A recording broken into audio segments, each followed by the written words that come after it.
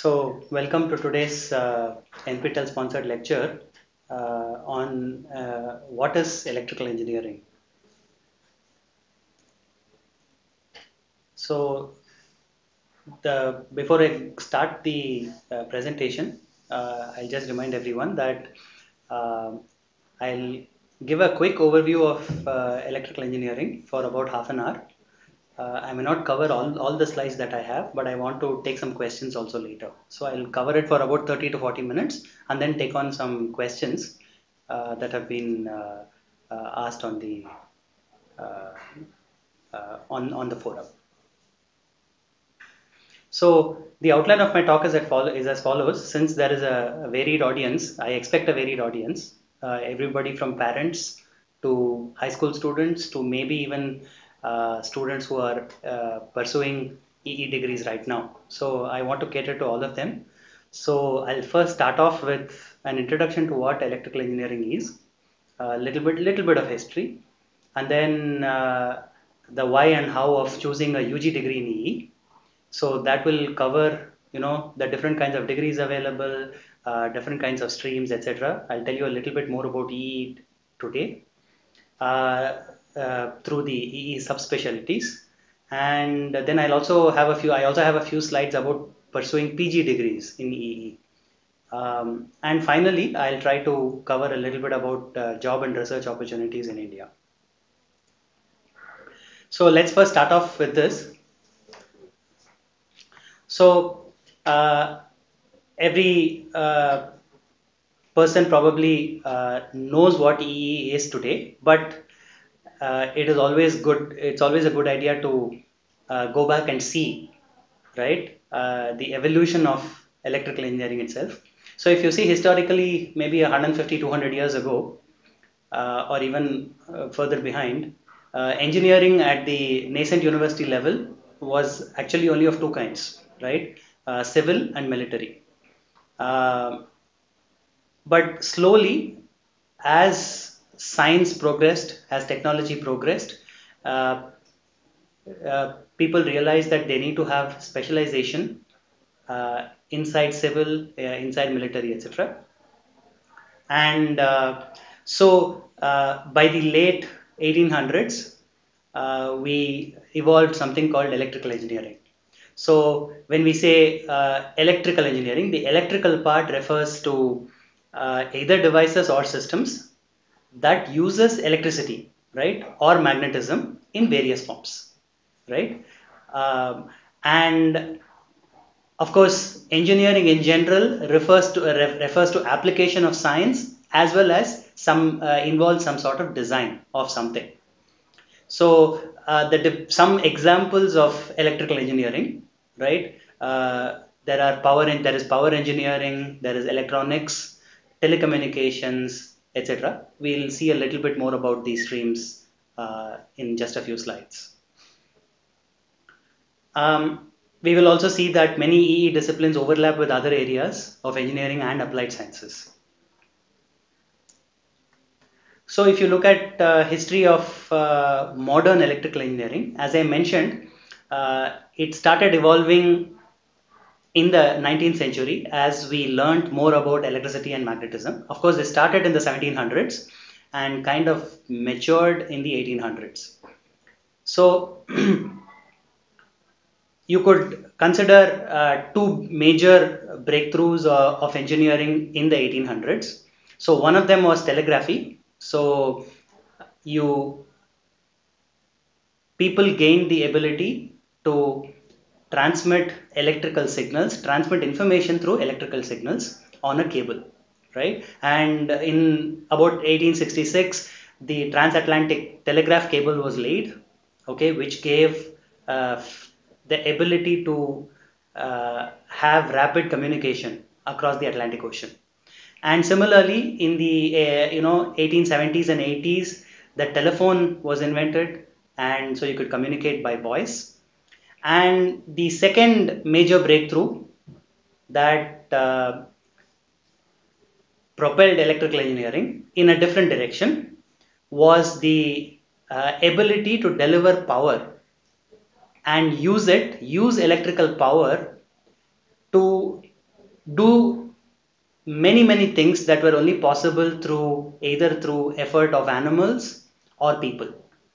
So if you see there is a famous war of the currents fought between Thomas Edison and George Westinghouse over uh, whether DC or AC power should be delivered to homes.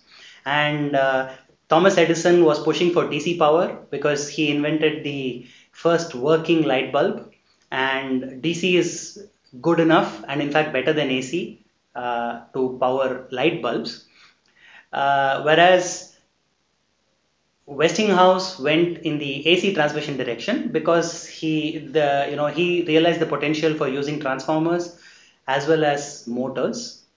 And uh, you may think that I am giving examples only from the United States, but you should always remember that there were similar developments in Europe. Uh, for example, the first transformer was invented by a Russian, uh, Pavel Yablochkov, in 1876. But with all of these developments, till the beginning of the 20th century, electrical engineering was still considered a subfield of physics. So, in the 20th century, however, in today's world, in fact, you will find that EE has EE has become extremely broad. So you have power engineering that deals with supplying electrical energy. You have information engineering, so basically communication. You have semiconductors that build devices to enable realization of communication or power. Uh, you have electronics that builds these systems and so on. And uh, really, development of EE has has happened depending on the needs of uh, on various needs actually on society as well as uh, technology available at any particular time. And we should always remember that progress in science and technology heavily depends on uh, involvement of both the government and industry. So with all of this, we find that uh, you know uh, in the late 1800s, electrical engineering got a push. Now, I just wanted to talk about what happened in the universities. So the first EE department in the world started in 1882 at the uh, Technical University of Darmstadt in Germany. And similarly in the US, MIT started the first EE degree program, but interestingly in the physics department. Um, and finally, in 1885, Cornell University awarded the first EE degree. So in all of this, uh, you can see I, we, it started off as a subfield of physics and uh, it took some time, even though telegraphy, uh, etc. made its progress, it appeared at the university level only after a long time. There was a reason for this. Uh, if you see the way engineering progresses and at the university level, Normally it specializes, super specializes and eventually once it becomes broad enough in its own area, it becomes a separate uh, discipline by itself. Uh, one prime example is the evolution of computer science.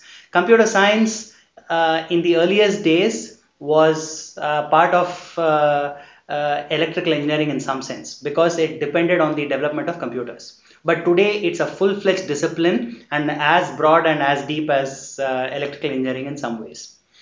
Um, at that time in the 1800s, late 1800s, people were worried about the maturity of the science. So, you know, they didn't understand many of these effects uh, that we do today.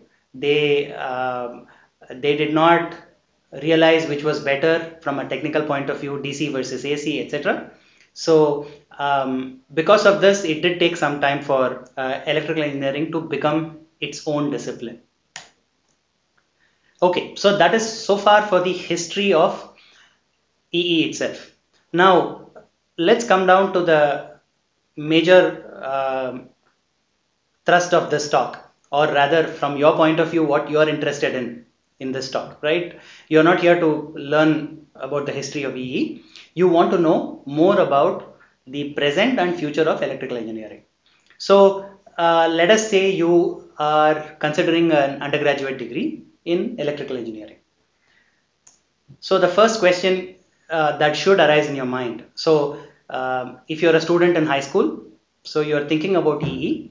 So the first question is, in high school, you do not know what engineering is. You know what science is, right? So first question is why is EE in engineering and not science, right? So I have some quotes here and uh, I thought they, these quotes uh, from the references 1 and 2, they are pretty uh, nicely put to demarcate engineering and science, right? So very often you will find that engineers do not want to wait for the science to become mature right? They want to start developing it. They see the potential. They want to see whether they can make use of it.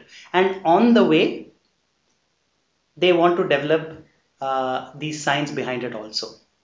And engineering also bridges an important gap between inventors of technology. So technicians who are inventors of technology and scientists who advance science. So engineering kind of forms the link between these two. So engineers use existing technology to push the boundaries of technology and they also develop new technology, right, using known science. And if you're a high school student, you're probably thinking about what you will learn in electrical engineering. Now it's very hard to tell you too much about what you will learn uh, after the first or second year because you need to go through that process before you understand what you're going to learn. But I'll give you some simple pointers, right? Typically, the electrical engineering curriculum in your first and second years will start from high school physics fundamentals. Okay, so for example, in most Indian high school curricula, physics curricula, you learn a little bit about electricity and you also learn about electrical quantities. Uh, what is potential uh, difference, what is voltage, what is current, uh, what is charge, etc. And maybe you also learn a little bit about certain elements, in resistors, inductors, capacitors, etc. Okay, and uh, and I know that some curricula also deal with circuit analysis itself, building very very rudimentary circuits. But you will find that the first course in electrical engineering is normally a course uh, in electric circuits because uh, it is useful in many areas of electrical engineering. So for example, uh, you will learn more about these elements, inductors, resistors, capacitors, but you will also learn about newer elements, right? You will learn about new types of voltage and current sources. You will learn about AC and DC uh, and you will learn how to analyze and build these kinds of circuits. Okay? And you will learn laws that govern these types of circuits. Without anything more would be out of the scope of such a general talk but i'm just trying to give you pointers. Okay? Uh, in this case you will learn from a purely engineering point of view right? In the case of uh, um, let us take a resistor a resistive element. You know that you might know that the current through the resistor is proportional to the voltage across the resistor and vice versa but you may not know why right? So that's a purely engineering standpoint. You may not need to know why to learn ohm's law. However in electrical engineering you will also learn why it is that way okay and how it is how to use it and how to build resistors. Um, you will also learn to approach it from the opposite direction so uh, the first electric circuits course will teach you certain empirical laws, but you will also learn to approach it from the other side, from the pure physics side. For example, in the first two, three year, first two years of electrical engineering, you will also have normally have a pure physics course on electromagnetics, um, as well as an electromagnetics course taught from an electrical engineering perspective, which are slightly different. And you will learn uh, how to approach electrical engineering from pure physics. So at this point, I also want to point out, uh, because I'm saying you will learn this and you will know this and so on, you should remember from an engineering point of view, if you say you're learning something, it means you should be able to make predictions, certain quantitative predictions. That is very important, right? And part of the learning process is also to learn how to apply this to a different situation. It may not be a completely new situation, but it may be slightly different, right? Uh, that is what makes you a good engineer if you're able to apply this differently, right? Okay. So, um, in case there are parents or siblings of uh, high school students listening, as well as high school students themselves, right? Why would you want to choose EE? Actually, before we touch that point, I will strongly advise parents. This is not EE specific. Let your child or sibling make the choice of what he or she wants to study based on his or her own interest. They can take your advice, but please do not force them to study something based on what you think they should study because it is important that they make an informed choice and they should also choose something that they're interested in. The reason I say this is because typical um, the typical person is informed from many different sides but very often from the media. And media tends to uh, portray uh, a certain aspect of uh, these engineering disciplines as being very significant and it is true. But what you should remember is that every engineering discipline is important in its own way and the same goes for every sub subspecialty of electrical engineering also right so it is important for the uh, student to make his or her own choice based on what they are interested in and you will find that EE is broad enough to cater to their interests because there is overlap with many different areas of science and mathematics that the student is already exposed to in high school. So the good thing is EE is broad enough such that you will find something that you're interested in if you're interested in basic sciences. Now, um, you may also be tempted to decide the area of interest inside EE itself. Now, I would strongly suggest if you're a high school student aspiring to take electrical engineering, I would strongly suggest that you wait till you start, wait till you hit your second year or third year before you make this choice. The reason is you will find that your choices evolve as you learn more about these subspecialties. And uh, there is a recent trend in many curricula for more specialization at the undergraduate level. This is perfectly fine, but you should remember it's also perfectly fine to increase your breadth, to learn more about many areas before making a choice. Okay, you will have time till your postgraduate studies before making a choice, and there's nothing wrong with that. And I'll also point out inside EE, every stream has potential for research as well as development and uh, you will learn more about these EE streams by sampling what are called elective courses. You will have choices in the final year of your undergraduate, maybe even before that in some universities. And once you undergo those courses, you will learn your own interests and choose the specialization based on your interest and your aptitude, both of them. And I'll just point out, I shouldn't, uh, I should remember to point out interest can be in many forms. You may be interested in pursuing higher studies and research. You may have a financial interest, financial goal, which is perfectly fine. Uh, you may be interested in taking up an area which has a large number of jobs at the present time. Uh, you may hear more about it in the media or from friends, relatives, uh, people, and you may decide that it is a cool area to study. All of these are perfect, perfectly good reasons to take up a to try out uh, EE streams and if you like it, that's great. Now you will find that uh, electrical engineering departments are organized in different ways in different places, right? Um, in over the last 30 40 years, most higher education universities have tried to organize themselves in a single department. The reason is because they all share something in common, right? So people have moved towards having a single electrical engineering department as well as a single electrical engineering degree, right? But not all universities have moved to this model. Uh, you will find in India a majority of universities have uh, two broad flavors of electrical engineering.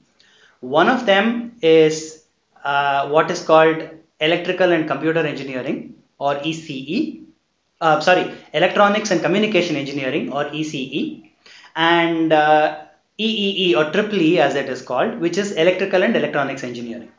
You also have electrical and computer engineering in the United States, uh, which is a very common way of organizing the department there. That does include power engineering. Uh, and you will also find in the USA, you will find that there are some universities which have electrical engineering and computer science in the same department. That is also common. But what do each one of these mean? As we go through the next few slides, you will realize what each one of these means. But I'll just broadly point out that the electronics and communication engineering that is found in India encompasses a few areas such as communications, signal processing, semiconductor devices, and VLSI. So these are broadly the uh, four broad areas that will be covered under ECE in India. Triple E will cover electronics, power electronics, electrical machines, and power systems. So this is an evolution of uh, these have been called uh, organized in this way with various different names. The modern way of talking about it is ECE and Triple E. Um, 50 years ago or 70 years ago, it used to be called uh, heavy current and light current, ECE and EC and EP, electronics and communication, electrical power, and so on. So these names keep changing, but you will broadly see that high power engineering and low power engineering are broad divisions uh, in EE itself. And it is quite possible for the same department to offer two degrees. So that happens, that used to happen at IIT Madras, for example, uh, but it happens in uh, other universities at this time too. And one last point is that you will see that there are Indian universities that offer something called instrumentation engineering, that is a sub branch of electrical engineering.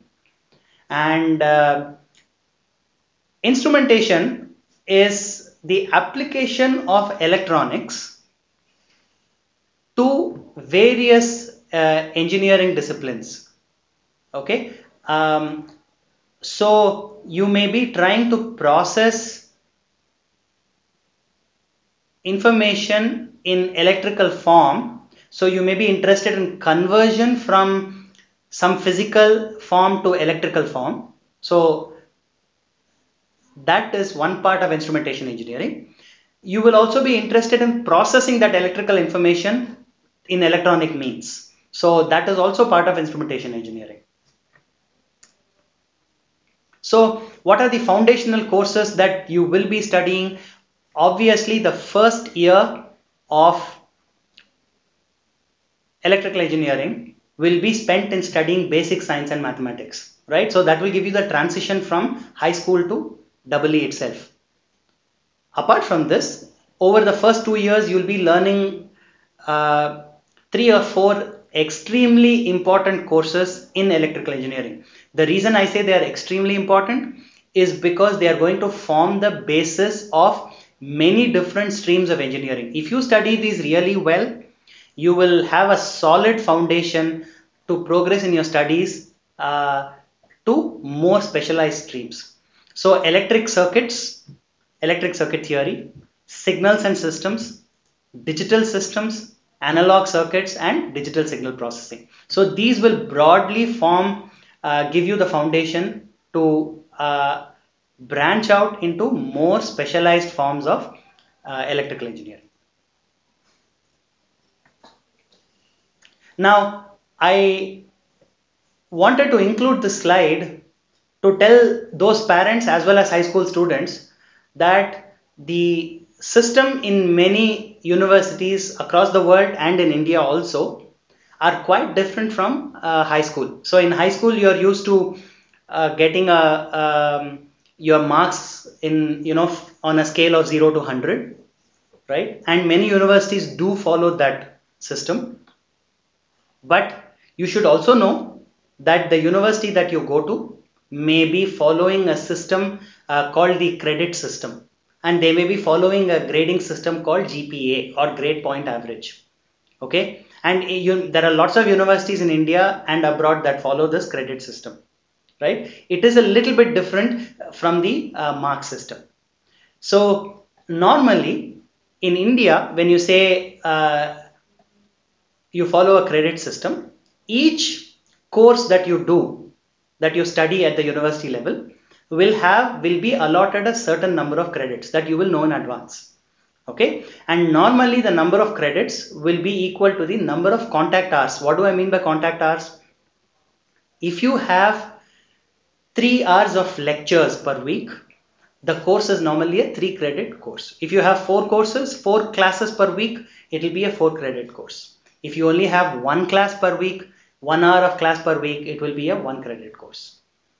Um, and the marks that you earn in the course will normally be awarded a, a letter grade. So a b c and so on.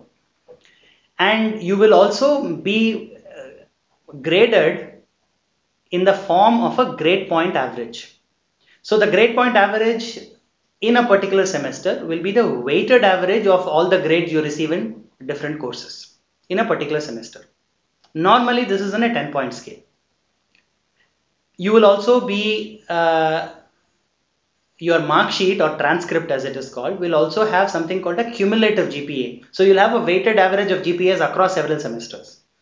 So that at the end of your eight semesters, four years, you will have a CGPA, a final eight semester CGPA. Now, uh, the important thing to note is that students are students are expected and required to maintain a minimum CGPA across semesters and you're also required to earn a certain number of credits before you can be awarded a degree. So that is quite different. I would encourage those of you who are interested in learning more about this to read up on this at the appropriate time. So now, uh, now that you know a little bit about how EE departments are organized, what courses are important, um, history of EE, etc. Right? Another part of making your decision about whether you want to study EE is knowing more about the different subspecialties or substreams of electrical engineering. So you may be interested in knowing, um, you know, what are the different areas that form EE. So I'll quickly go through this. I may not have enough time to dwell on each one of these in detail, but I will try to give you the important, uh, you know, flavors of each one of these, each of these streams. So there are you know you can divide depending on how super specialized you want to get you can divide into many streams but here i have listed six or seven streams that are really important so communication signal processing and information theory are uh, is one important uh, stream. Solid state devices also called semiconductor devices vlsi control engineering instrumentation uh, power systems and machines power electronics are important uh, energy dealing with that deal important streams that deal with electrical energy.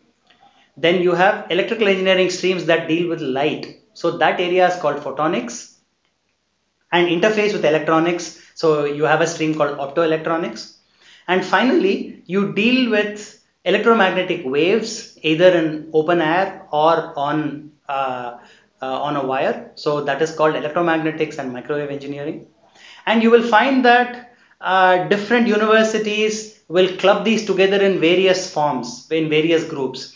And that is normally a factor, you know, based on many different factors. It could be because, you know, they have a strength in a certain area, their faculty collaborate in a certain way, maybe the number of faculty, maybe the research funding that they have. Uh, it is, a, and it keeps changing also. So I wouldn't place too much uh, emphasis on how it is divided. The important thing is to know each one of these really well. So I'll try to talk a little bit more about each one of these. Um, if you look at microelectronics, microelectronics deals with um, making extremely small uh, electronic components and systems on what is called an integrated circuit. Normally, in today's world that means you're making it on silicon okay and uh, really this has the advances in semiconductors uh, microelectronics has been has really fueled the advances in hardware for many many different areas of electrical engineering as well as outside electrical engineering. And if you see normally semiconductors is driven by advances in material science. And then semiconductors pushes advances in electronics. And finally electronics pushes the advances in uh, you know the highest layer communication uh, you know uh, IT and so on and what about what does communications deal with you deal with wireless communication for example so you want to transmit uh, a signal from uh, one region to another region. So in the earliest days, this used to be radio, but in today's world uh, and television. But in today's world, you know, you have cellular, uh, you know, uh, communication. You have satellite communication. So advances in wireless communication has driven all of these areas. And you also this also deals with signal processing. So you have uh, videos, uh, images that need to be processed. They need to be cleaned up. Uh, and you also want to detect video and images in these days um, and uh, you want to process speech because maybe you want to uh, have voice activated devices uh, you may want to understand language so this is a big area for speech processing um, in india there are various universities and researchers working on processing and producing speech for Indian languages. So these are all very important areas for advances in electrical engineering. Another area deals with high energy devices. So power systems, power electronics and high voltage systems. So you deal with motor drives. So it could be uh, very high power motors on an industrial scale all the way down to extremely small motors used in watches, uh, you know, used for, uh, you know, extremely miniature devices. Another area that, uh, you know, energy, uh, electrical energy engineering deals with is in renewable energy. So in today's world, you need to uh, deal, you need to transform different sources of physical energy into electrical energy. You need to be able to absorb that electrical energy and uh, store it and transmit it to other parts of the uh, other regions of the country right? So uh, renewable energy is an extremely important uh, focus of uh, electrical power engineering. And of course uh, there are financial aspect to energy markets markets because of renewable energy and you know your grid needs to be able to handle it so these are all aspects that will come under power engineering uh, you have another area of engineering, uh, electrical engineering called control and instrumentation. So you deal with uh, instrumentation I've already talked about. I've talked about sensing signals in physical uh, form and converting them to electrical form. So those are called transducers and sensors. And you also uh, need to process those signals, that is instrumentation. But a major focus of instrumentation in today's world is biomedical instrumentation right? And how it leads to healthcare technology. Then control engineering deals with robotics as well as uh, what is uh, becoming a new area of uh, interest for many people, which are called cyber physical systems. On the optical side, I talked about how you deal with uh, light in various forms. So you will find that uh, uh, there are three, several different areas of processing, but all the way down from optoelectronic devices all the way to systems. But uh, several areas that are really important are fiber optics. So when you want to do high uh, long range communication with lots of data, you cannot do it in a wireless form. You have to do it using fiber optics. And lasers, advances in lasers have really driven uh, this, uh, this particular field in the future, people are thinking about processing high bandwidth data on integrated circuits using light. So that is a really important area for the future called silicon photonics. And there is a lot of overlap between uh, this area and microwave and uh, RF systems. Now, this area is basically electronics in modern form, uh, anything to do with hardware realization of circuits and systems. So you have analog system, you know, VLSI and digital VLSI, uh, and you have subspecialties inside that. Uh, embedded systems uh, uh, is also an important impo important uh, part of uh, modern VLSI. So there are various specialization, but the basic idea is to design circuits, analog circuits or digital circuits. You need to be able to simulate them because these are extremely complicated circuits. You need to be able to fabricate them on semiconductor uh, integrated circuits. And finally, you also have to test them and make sure they work, right? So VLSI in, is involved with every part of this. Finally, these prototypes will be uh, productized in electronic form and used uh, you know by communication engineers signal processing engineers etc so um, i'll just point out very quickly that ee uh, you know has a lot of overlap with various branches of science and engineering uh, biomedical sciences in the form of biomedical instrumentation and healthcare technologies physics. So solid state devices and photonics have a lot of overlap with physics. Um, material science drives a lot of innovation in micro and nano electronics. Uh, avionics is a specialized electronics field uh, dealing with aerospace. Um, uh, you know, you have computers overlap, lots of overlap with computer science, etc.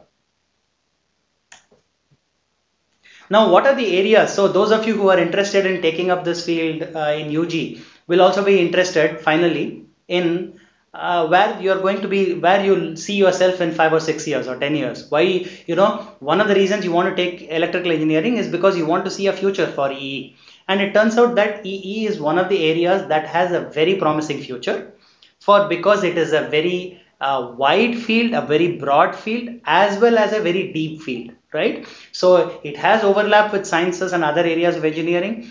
It is also extremely deep and drives a lot of technology in many different forms right? And therefore uh, uh, you need have no doubt that whatever area of electrical engineering ECE EEE doesn't matter. There are lots and lots of applications uh, that will lead you into the future right? And I have listed a few of them here uh, but uh, you should have no doubt in your minds that uh, there is a large scope for future research and development in the form of jobs in EE.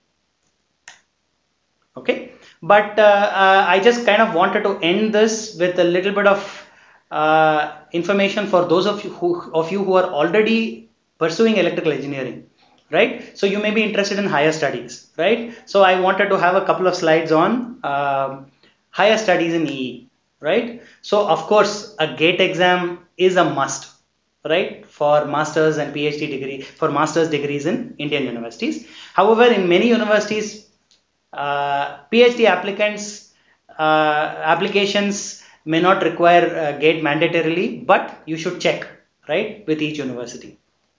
And you should also know that the GATE exam is increasingly used by public sector companies to rank applicants as a requirement for incoming applicants okay and uh, the different departments and universities may choose the particular stream of uh, of gate that you need to write before you are uh, eligible to apply to that particular uh, university or department. Okay? Uh, as always if you are not sure how to prepare for gate uh, i would suggest strongly also using nptel videos to to augment your gate preparation. They cannot be the primary form of gate preparation, they may not be, but you should use them to augment because they are freely and very good available resource. Um, there are several different possibilities for postgraduate studies. So uh, the first of them would be MTech or in some universities ME. So this is basically a job oriented uh, degree, master's degree. So basically it's a course based degree. Okay. And uh, you are going to be uh, looking for a, most probably looking for a job after an MTech or an ME degree. Uh, you are trying to specialize in a particular area and then go for a job. And uh, so obviously you need GATE as a prerequisite and the assumption is that you have chosen one or two EE streams that you are interested in based on the courses that you have studied in your undergraduate. And you should remember that the admission criteria differs from institute to institute. Okay. and uh, uh, you should remember that as I mentioned before, different even in the same department, some streams may accept certain gate paper scores while others may not. So please be careful when checking for these. And uh, the important thing to note about master's uh, degree is that it is time limited. So in four years, as long as you do well, you are pretty much guaranteed to complete your MTech and you can go in for a job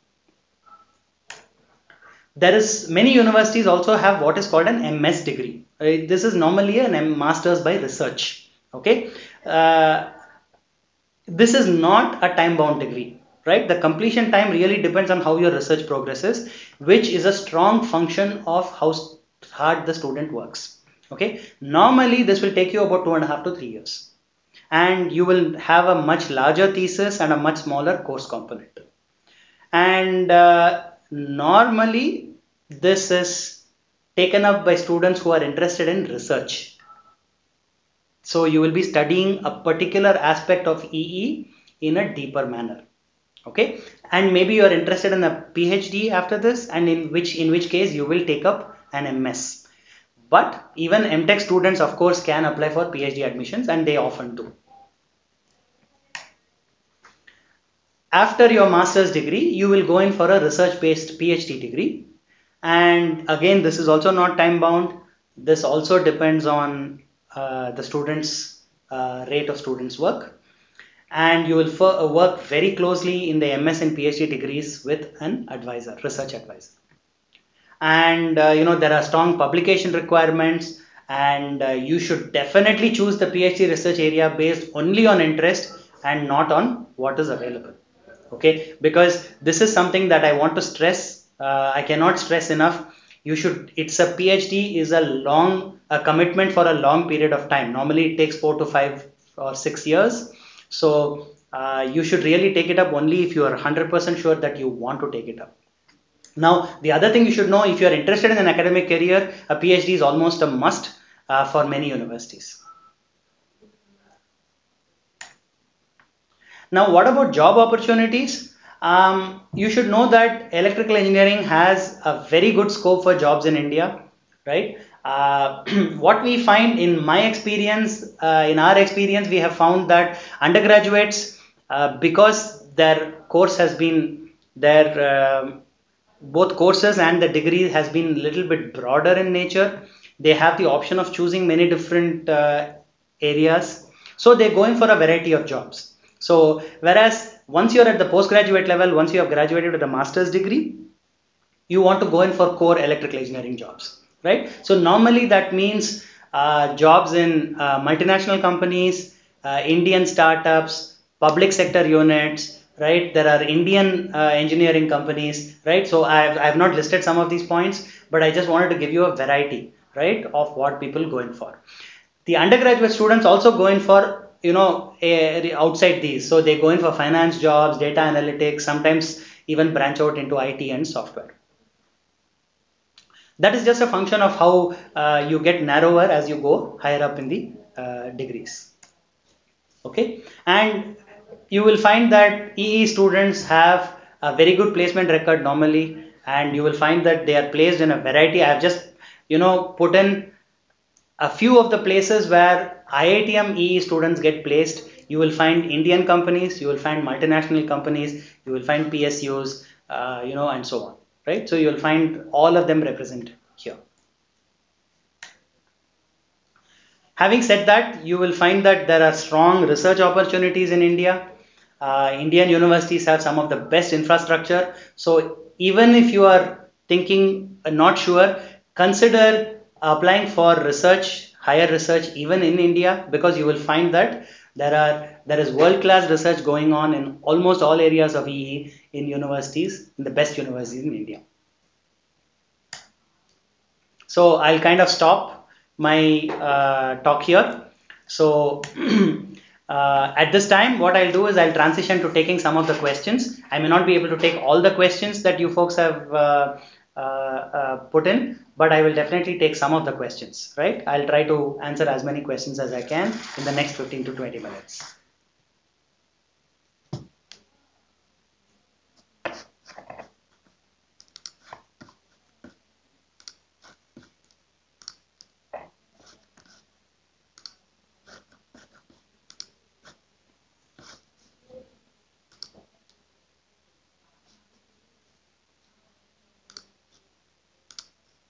Okay.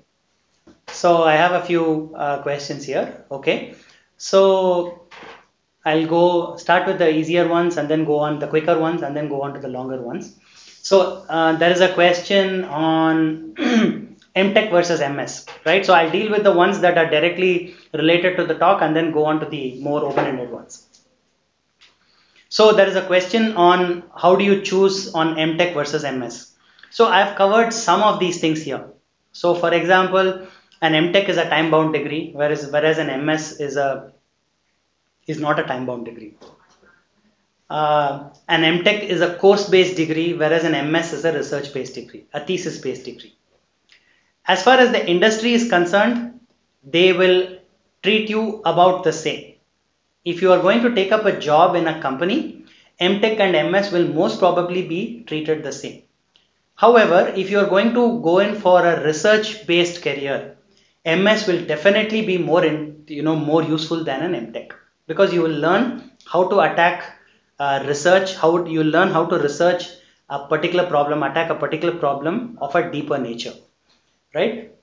Unfortunately, that takes time. So that is the trade-off that you make, right? So an MS is longer than an MTech normally because it takes longer. Now, you should also know, I see another question on, you know, uh, foreign MS programs versus Indian MS uh, MTech PhD programs. I'll just point out that in, for example, I know most about the United States of America uh, degrees in the US, and I'll tell you that the master's degrees in most of the US universities will be more closely related to our own MTech rather than, rather than the MS degree in India okay? They do not have such a strong distinction. And many US universities have moved moved towards an MTech only model right? Where it's a time bound you do less research and more towards feeding the industry. Real research is done at the PhD level.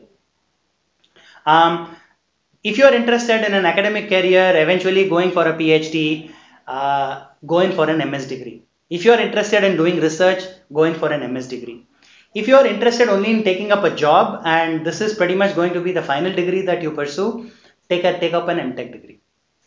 If you worry that you know you want to complete your degree, you know within two years you are very worried, you have a financial constraint, etc. Take up an MTech degree. Okay, so that is how you would make the trade-off. Different people would make uh, trade-offs in different ways. Now I'll attack the second, uh, I'll answer the second question. How do foreign programs stack up against Indian programs? Specific, the MTech programs uh, in India probably compare very well with the MS programs, for example, from the US. The Indian MS is probably in between the uh, MS and PhD degrees abroad. Okay, because the MTech degree in abroad would probably get completed in two years, whereas your uh, Indian MS degree would take you three years, right? So it is a little bit more research focused. So I would place the MS degree a little bit between the MTech and PhD degrees. In today's scenario, I can assure you that many of the top universities in India have some of the best professors. Uh, they have the same level of courses, advanced courses that are taught uh, in Indian universities such as the IITs, Indian Institute of Science, etc., and the central universities, as what you would find in universities abroad.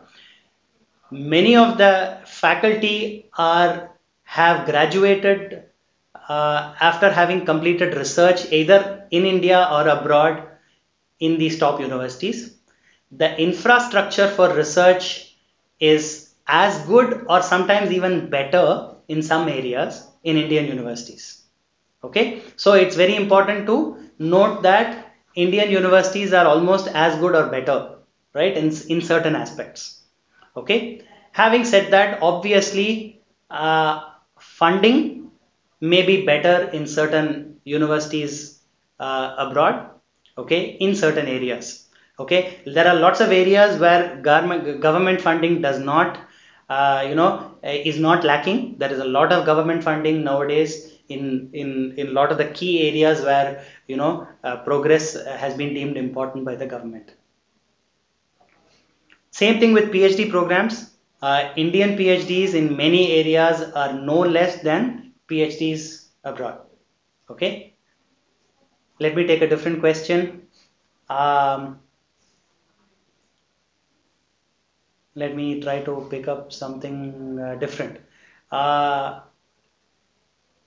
okay.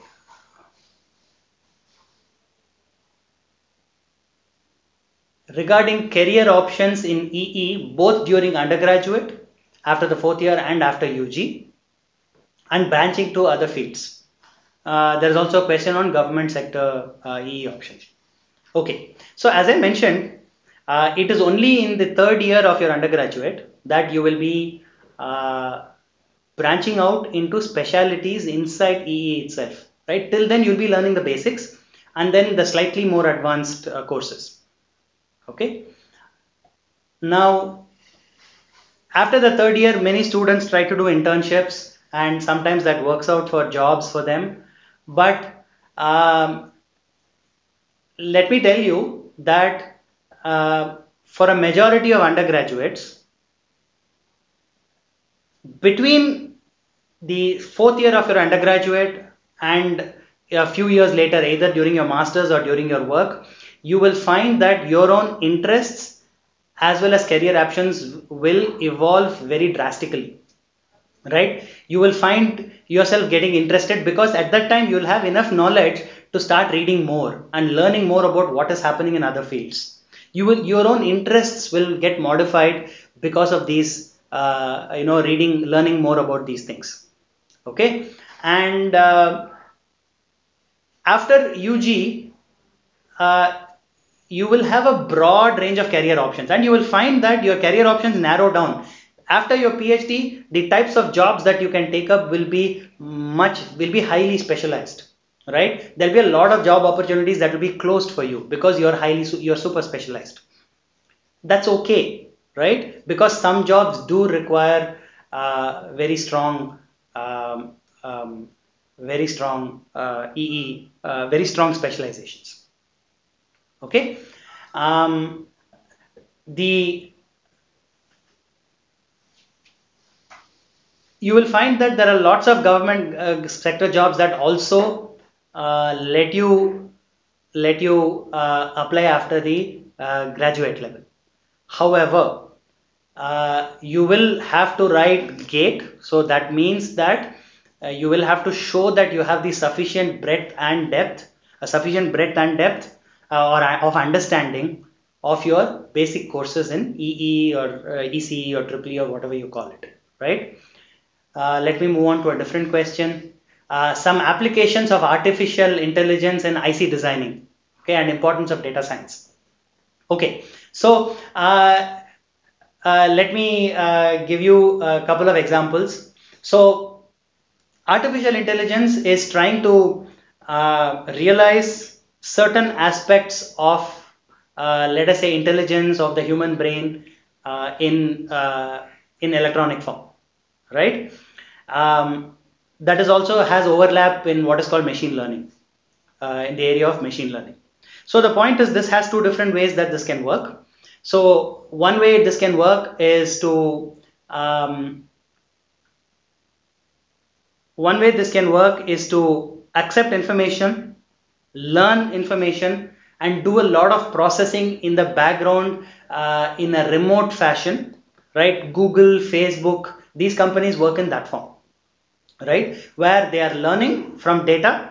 They are taking it to a centralized form in, in a centralized place where they have a lot of computing power where they learn so that is that where you know in IC designing there is not a lot of overlap with that area. However you may want to have machine learning in a limited hardware form right? And there IC designing has a strong uh, you know uh, impact. So for example take the case of uh, you know alexa which is the amazon you know assistant. You also have the amazon echo and standalone boxes. So they do have hardware um, and uh, you need to be able to process certain things quickly right? So it is quite possible that uh, you may want to have specialized hardware and you know the google assistant has this the Siri has this, you know, Siri and Apple has this. In a lot of these cases, you may want to have some basic processing, uh, you know, uh, locally. You may also want to be able to mimic the, uh, you know, intelligence in very, uh, in areas where you have limited power, limited space, etc. Right? In those cases, IC designing is really important, right? And people are looking at this uh, in certain aspects. So I'll give you one example. So one of the uh, areas of research in digital IC design and computer engineering is an area called approximate computing right? So if you look at the human brain it does very often it does not do exact computing really well but it does approximate computing really really well right? The uh, a, a physically designed computer or a smartphone is today very good at doing exact computing right? If you want to find the you know nth root of a, of a number right the human brain takes a long time but a computer does it very quickly right? But if you want to eyeball something very quickly the human brain is often much as good or faster right? So now people are trying to design integrated circuits that can do approximate computing okay? Similarly they are trying to do uh, you know learning systems for use in the field in compact form right? In both analog and digital ICs so that is an important area of IC design. However, right, it is a highly specialized form, right? It is a highly specialized area. IC design is already a highly specialized area. Okay, use of AI and applications of AI in IC designing is highly, uh, you know, is an even more specialized area, right? Now you can also look at it the other way. Maybe the questioner meant talked about okay now i see that it may also have he may also have meant of applications of ai in ic designing. Now this is a slightly even more specialized area okay where you're talking about using ai to design ics in my opinion we are really far away right? Uh, probably 10 to 15 years away. There's a reason for this. Uh, it is because a lot of the focus of ai is not on ic design. There are much more important problems to solve in ai but definitely, uh, one of the problems with the use of AI to design ICs is uh, the requirement for data, right? AI needs to learn somehow. How do IC designers learn? They learn in class, they learn through experience by designing ICs, right? Now, uh, you need a data set for AI to learn. That data set exists in very fragmented form, right? So it's very difficult for uh, you know, I don't see this happening for the next 10 to 15 years, years in a very big way. Okay, let me take up a different uh, area electric vehicles and smart grid research uh, and industry based options in India. Okay, very good question. So, you should know that uh, uh, there are several different companies looking at electric vehicles. Um, obviously, all Indian based vehicle manufacturers, Tata, Mahindra, um, you know, and the two-wheeler companies too, uh, Bajaj, TVS, etc. They are all looking at electric vehicles because you are going to see a boom in electric vehicles in the next 10 or 15 years. There's no doubt that uh, we have reached a tipping point where electric vehicles are going to become more prevalent, right? Having said that, it requires uh, it requires a change in infrastructure. Okay, because electric vehicles need to be charged. So first question is where do you charge them? So there need to be charging points. You need to, if you want to go travel long distance on electric vehicles, you need to be able to swap out batteries quickly. So all of these things, um, you know, need to be looked at. So if you are interested in electric vehicles, definitely an uh, you know an important research area, and there are lots of companies which are looking at this. Okay, so uh, you know if you are interested in power engineering and electric vehicles, there are various different sub areas. Battery technology is an important part of this. Um, motor drives, electrical motor drives, because a lot of motor, uh, you know, uh, motors that have been used in industry and vehicles so far were all not vehicles, but in industry definitely so far were uh, AC motors, induction motors, and synchronous motors. Now, DC motors are being strongly uh, used. uh, because of the advances in DC powered, uh, you know, processing. So definitely an important area. Now let me take up a different area again. What are the scopes of nanoelectronics and photonics, uh, photonic integrated circuits for quantum computing? Do I get to design circuits and systems if you study nanoelectronics? Uh, that's a very good question. I may not be the best person to uh, tell you all the deep nitty gritties of each one of these areas, okay, because I myself deal with integrated circuits. Having said that, if today somebody tells you that you're studying nanoelectronics, you are most probably not designing circuits and systems. You are basically designing nanoelectronic devices. Normally, that is what is meant by nanoelectronics. Okay. Um, however, this might change in 15 to 20 years. Okay. If silicon devices reach uh, a point where you cannot have any silicon based devices, uh, do not see any strong advancements beyond a certain point. You may find that there are other areas of nanoelectronics that catch up in performance. Okay, uh, you may see a lot of circuits and systems being developed uh, using different types of nanoelectronics. I don't see that happening for the next 15 to 20 years. Okay, now photonic integrated circuits definitely an important area of research. A uh, lot of the big companies are also looking at this. Uh, uh, companies like Intel uh, are looking at this in a very big way because this is going to drive high bandwidth communication between computers uh, in server farms, right? You know that servers are, you know, there is a bandwidth constraint in servers. So photonic uh, transceivers, photonic ICs are going to be extremely important. Um, okay, let me take a different tack. I see a new question. Many students feel that EE program is difficult compared to computer science, etc. Um, this is a very interesting question. Um, I don't know if the second part of the, the second part of the question is hence students are not opting to study EE. Is this true?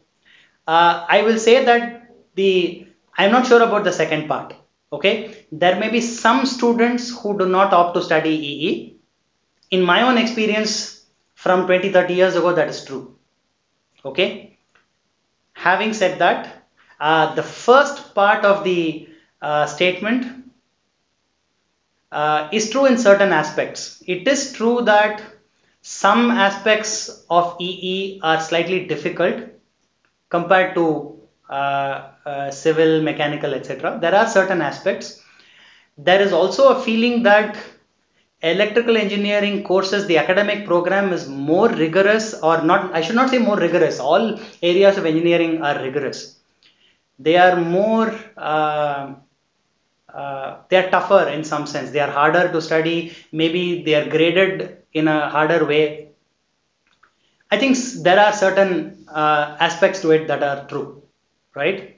Some parts of it are cultural, some part of it are to do with uh, the breadth and depth of electrical engineering that you have to learn before you can become useful in uh, you know in doing advanced EE uh, you know advanced research or development in EE okay?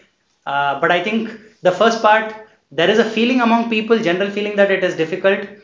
Um, I personally don't think it is that specifically difficult with respect to other branches of engineering, but your mileage may vary.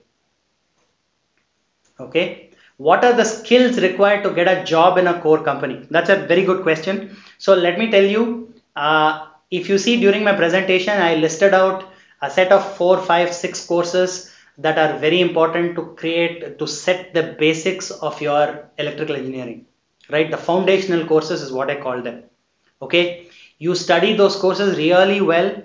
You will find that a majority of EE core companies will test your foundation in those in those areas. Okay? I may have left out one or two but i can assure you uh, 80 to 90 percent of co companies will test your uh, skills in those courses. There is a reason for those. Those are the areas that are uh, if your basics in those areas are really really solid. You can learn the more advanced stuff on the uh, you know later also because you've already been exposed to them. Even if you have not learned them well you can get advanced right? You can imagine that uh, if a student comes to the first course in electrical engineering right but has not studied high school mathematics or high school physics it is very diffi- difficult to make up that lack of knowledge in high school uh, mathematics or physics you know you have to start somewhere and that is the similar uh, you know idea uh, uh, you know uh, behind uh, having certain foundational courses. Those will be the skills. As always, you know those foundations really well. You will find that the core companies will test you in those areas. Okay. I think I'll take one last question before uh, kind of ending this Q&A session. Does electrical engineering relate to robotics? If yes, what are the concepts of EE related to robotics? Okay, that's also a question that we have not seen before. Um, yes, of course, electrical engineering does relate strongly to robotics. It relates in about uh, a couple of different ways that I can think of immediately. Okay, uh, yes, so there are one or two concepts of EE that are or areas of EE that are strongly related to robotics. Uh, this would most directly map to the area of EE that I called uh, control and instrumentation right? Um, if you see, robotics, of course, deals with um, moving um, things in physical space, moving certain uh, objects in physical space, right? Maybe, uh, obviously, if it's a robot, you expect maybe in today's world to see an arm and a leg, etc., right? Um, this requires uh, control over the movement of the uh, structure, right? There is a mechanical aspect to it, right? What do you, uh, how do you build that structure, right? And there is an aspect to it as to what material you make it. It needs to be light, etc. Right? But I'll deal with the electrical engineering aspect. The if you want to move the let us let us take the example of a robotic arm. You may want to move it in a particular uh, direction. Okay. First, you need to have an idea of what direction is, right? And you need to understand how much you need to move. You need to make sure that the arm does not move in a different direction. Okay, so which means that you need to have control. So now you see how why this area of uh, EE is called control engineering. You should be able to control, right? the uh, arm, right, the movement of the arm. And control engineering would deal with that. Okay. There is a, there are there is also instrumentation involved because there is electronics involved. You are going to sense the movement through a particular sensor. Okay. You are going to sense how much it has moved and you're going to convert it to electrical form you're going to acquire data in electrical form you're going to process it and then make your decision the process of making the decision correctly is the aspect where control comes in. Okay. The process of acquiring the data and processing the data is where electronics comes in. There is a third area of electrical engineering which is extremely important for this, which is to use uh, actuators to move this, to use motors to move the arm, right? That is where uh, you know machines, electrical machines and drives come into play and power electronics right? So you need to be able to move this, which requires electrical energy. Uh, you need to be able to control the you know motor in a specific way. The speed, the distance it moves, etc. You control using motors, right? Uh, so there are several, of course, robotics deals with several different areas of uh, electrical engineering. So I think we have covered uh, during this QA session, we have covered uh, various different types of questions and uh, various uh, you know everything from academics to research to future of EE and you know uh, uh you know maybe studies you know abroad and in India and so on. So I hope this session was very useful to all of you and I hope you know I want to wish you all the best for your future with starting off with good decision making and taking it forward, taking forward that decision. Suppose you decide to study EE, make sure to take uh, concentrate on the certain aspects that I pointed out, right? What foundational uh, aspects of EE are important, how to choose your streams, etc. And finally, I want to thank NPTEL for arranging these sessions. Uh, I'm sure it is uh, extremely useful to uh, people uh, with different, at different levels of their aspirations for engineering. Thank you.